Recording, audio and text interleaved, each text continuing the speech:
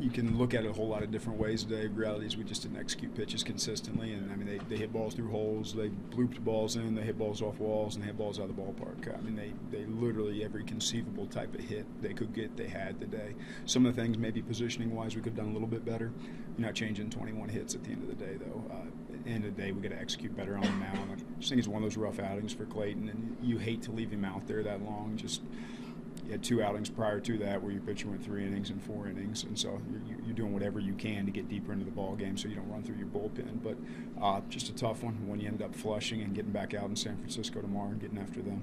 You mentioned lack of execution. Arenado with the, the home runs today. You'd pitched him pretty pretty well in previous games. Was his, he figured something out, or just not executing the, the game plan today? Uh, he's really good. I mean, that goes without saying. But uh, the pitches he hit out like if you go back and look at him, missed spots, uh, missed execution. So uh, at the end of the day, you tip your cap to him because he's a really good baseball player, as good a hitter as there is in Major League Baseball. So uh, if you don't execute, that's what he does. If you do execute, he's pitchable just like everybody else. But his, the margins are, are slim and uh, the chance for error is very small. Otherwise, he takes advantage.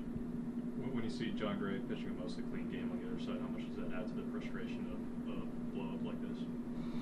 Uh, I mean I think we had opportunities to score off him. I think at the end of the day, you go six innings, go four runs, you leave the bases loaded a couple times out there, and you have opportunity to like push more runs across the board. Like could have easily. Um, could have easily pushed seven or eight across the board today if we get a couple key hits. Uh, you, look up, you got 10 hits. Uh, I think through the series, um, I don't know what we did in three games, scored close to 20 runs. Like for us offensively, it's it's a relatively good series. It's at Coors Field. Uh, the opposition scoring 30 something runs though, so uh, we have to pitch better and defend better. And uh, I think over the last few weeks, pitching's been good. It's been solid. Came to a place uh, against a very good offensive team. It's a good hitters environment, and they, they took advantage of us. And I think they kind of got back on last game in New York where they scored a dozen or 13 runs against the Mets, and then they kept rolling when they got back here. So uh, it's up to us to get back on top of it. We got some guys going Chacín tomorrow in San Francisco with all our like top end bullpen guys ready to go and pitch. So expect it to change quickly. Given the recent success you've had, what do you make of this series in terms of is it something you can kind of just put behind you and move on? I think regardless of what's happened in the past, you have to put this behind you and move on. You learn what you can from these moments. You learn, have the conversations with Lamet and Torrens about yesterday, and you move forward with whatever you got to do today to learn from. But uh, you flush these games. You move on, and you show up playing to win a baseball game tomorrow.